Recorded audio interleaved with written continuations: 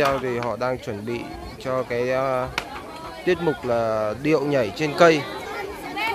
Thế như thì tôi quan sát ở bên Tây Bắc thì người ta gọi là đây là nhảy sạp. Nhưng mà ở đây thì họ lại nói là cái điệu nhảy của họ là điệu nhảy trên cây. Điệu nhảy bắt đầu.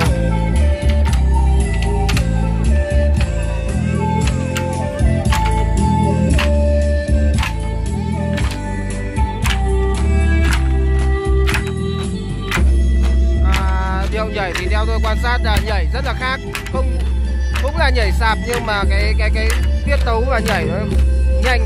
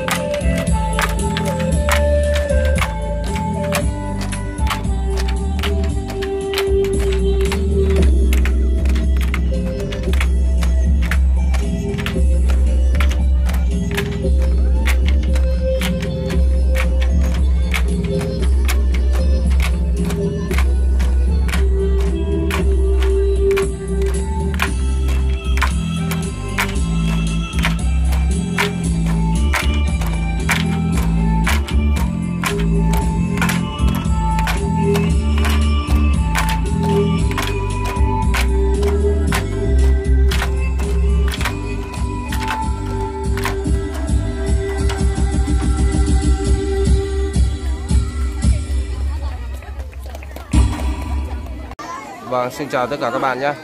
Bây giờ thì tôi sẽ quay tiếp tục cái à, điệu nhảy nữa, điệu múa. Người ta nói là điệu múa kiếm của dân tộc Lô Lô.